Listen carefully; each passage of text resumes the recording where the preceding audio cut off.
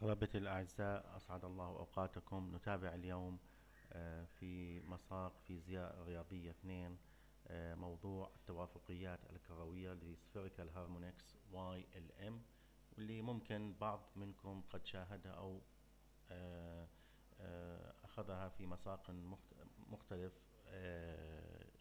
كميكانيكا الكم عند مناقشة على سبيل المثال ذرة الهيدروجين حيث أن ال wave function الدالة الموجية للإلكترون لذرة الهيدروجين هو مكتوب على الشكل آه، الجزء الذي يحتوي على نصف القطر أو radial part مضروب في الجزء الذي يعتمد على الزوايا الذي يسمى بال spherical harmonics YLM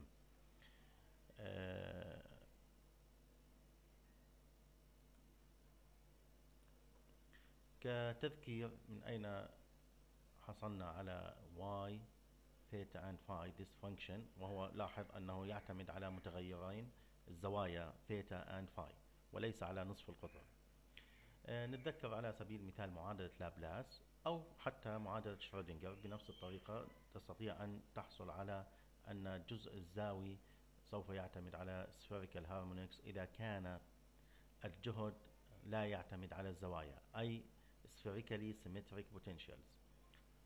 okay أو ما تسمى أحيانا central potentials الجهود آه، المركزية أو المتماثلة كرويا.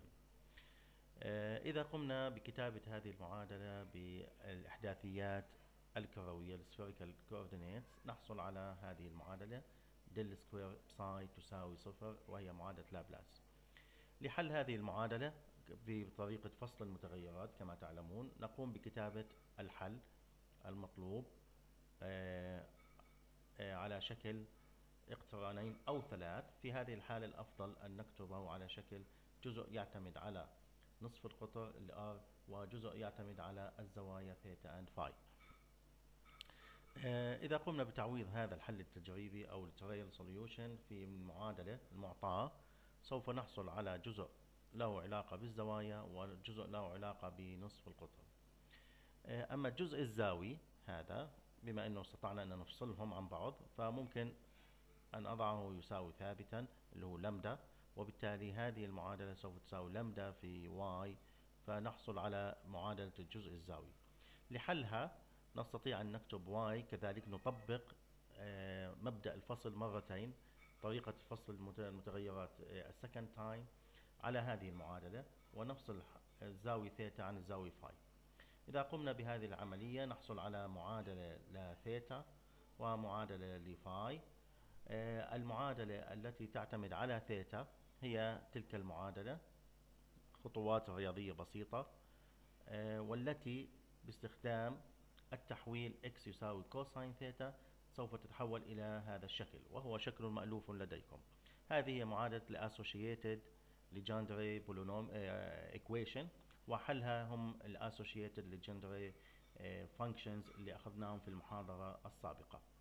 أما الجزء الذي يعتمد على الزاوية phi هذا الجزء لاحظ أن الجزء الأول والثالث معا بينما الجزء اللي في المنتصف هنا سوف يساوي ثابت اللي هو m square وضعناه على شكل m square ممكن تضعوا أي ثابت ولكن جرت العادة أن نسميه هذا ثابت الفصل هنا m square فنحصل على المعادلة التفاضلية البسيطة اللي معروف حلها لكم sine و cosine أو e اس i m phi و e اس minus i m phi فكشكل عام يمكن كتابة الحل على هذا الشكل آه و in a normalized form بحيث يكون normalized هذا الحل وحيث ال m تأخذ القيم صفر زائد أو ناقص واحد زائد أو ناقص اثنين.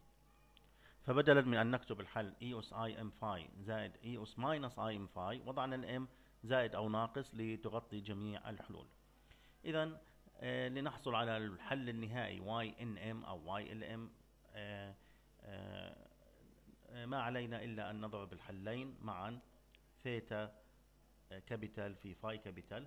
phi capital موجودة هنا نعوضها و theta capital حلها هي P L cosine theta أو عفوا ال phi. theta. نعم theta capital تعوض هنا فنحصل على Y L M لحل هذه الجزء الزاوي آه، لمعادلة لابلاس أو في ميكانيكا الكم معادلة شرودنجر. آه، الحل النهائي عندما نضرب هذه الاقترانات مع بعض e اس i m phi في P n of cosine theta. في مساقنا هذا أحيانا بنسميها n أو l آه، في ميكانيكا الكم تسمى l هنا أحيانا نسميها n وأحيانا l لا لا لا يختلف أي شيء هنا وإنما تأخذ القيم. يجب أن نتذكر أنها تأخذ القيم آه، من صفر حتى ما لا نهاية أرقام صحيحة موجبة أو صفر. بينما الام قد تأخذ القيم من سالب ما لا نهاية للما لا نهاية وأي عدد صحيح بغض النظر موجب سالب أو صفر. آه، ولكن حتى يكون الحل له آه، معنى فيزيائي يجب أن تكون قيمة الام أقل أو يساوي الان إذا هذه الحلول هي تشكل الجزء الزاوي للحل... آه، الدالة الموجية الاقتران الموجي عندما نحل معادلة شرودنجر في ميكانيكا الكم. وكذلك تشكل الجزء الزاوي في مسائل القيم الحدودية في الكهرباء والمغناطيسية. بس تأخذوا مساق عند أخذ مساق electromagnetic theory نظرية الكهرباء المغناطيسية وتقومون بحل معادلة لابلاس وبنفس الطريقة سوف يكون الجزء الزاوي إذا كانت المسائل symmetric آه، تعتمد على هذا الإقتران التوافقيات الكروية. آه، لحسابها ببساطة إذا أردنا مثلا على سبيل المثال أن نضع zero zero هنا نعوض بدلا من m صفر وبدلا من n صفر ف و P zero zero هي معلومة لديكم من المحاضرة الماضية فنحصل على هذا الاقتران. لاحظ أن y zero zero لا يعتمد على الزوايا أي أنه ثابت أي ونقول بأنه spherically symmetric في هذه الحالة أي باختلاف الزاوية theta و phi يبقى له نفس القيمة.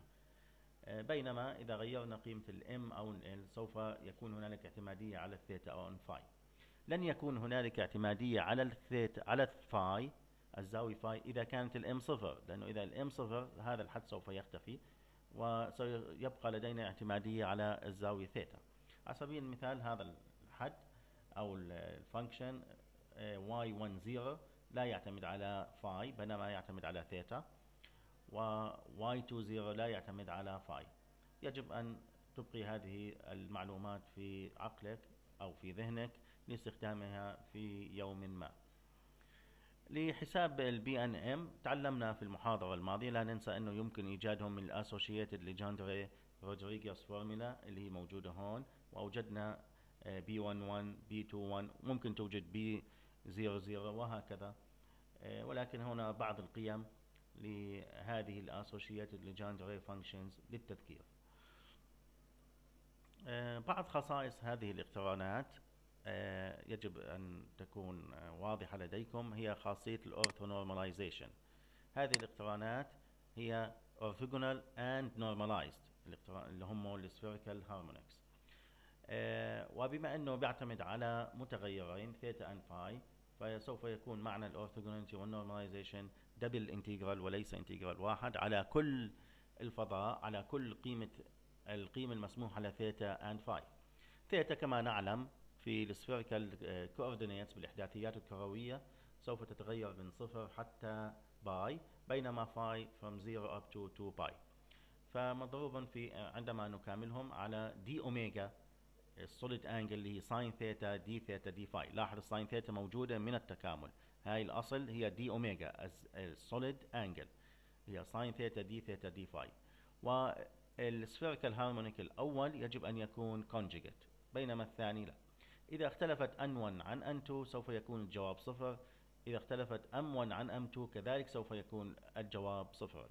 بينما إذا تساوت N1 مع N2 و وليس أو و M1 مع M2 وكان هنا sin theta d theta d phi وحدود التكامل كما هي هنا فإن الجواب سوف يكون واحد.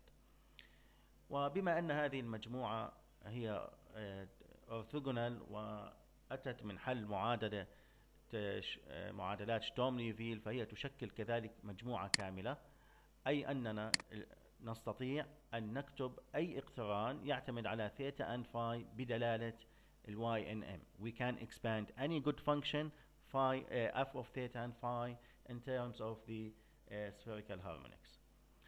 وهنالك أيضا علاقة تسمى ال closure relation آه، تأخذ هذا الشكل آه، أرجو التركيز على هذه في المرحلة الآن وعلى العلاقة الثانية ما معنى ال completeness لل spherical harmonics هنا بعض الأمور التي ممكن أن